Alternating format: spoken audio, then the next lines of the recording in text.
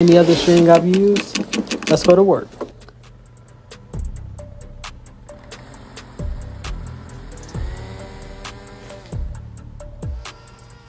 see right here, I'm edging.